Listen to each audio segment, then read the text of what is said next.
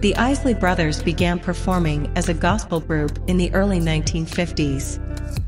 They initially performed at local churches and community events, but they quickly gained a following in the Cincinnati area.